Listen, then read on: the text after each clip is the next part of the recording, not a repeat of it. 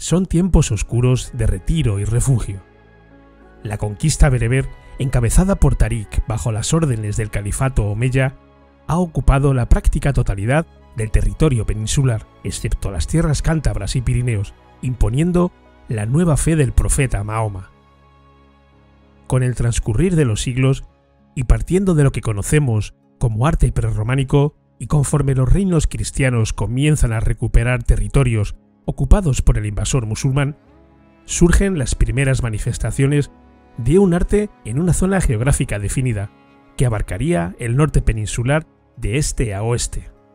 Coincidiendo con la expansión de las rutas de peregrinación hacia Santiago de Compostela, los peregrinos que las recorrían introducían influencias artísticas de diversas regiones de Europa. Al mismo tiempo, monasterios como el de Cluny fomentaban la construcción de iglesias en este estilo. Las regiones de Castilla y León, Navarra, Aragón y Cataluña fueron los principales focos del románico en España, ya que, además de ser zonas de paso de peregrinos, también eran territorios que se estaban consolidando tras la Reconquista, lo que llevó a la construcción de numerosos templos para afirmar la fe cristiana en los territorios recién conquistados.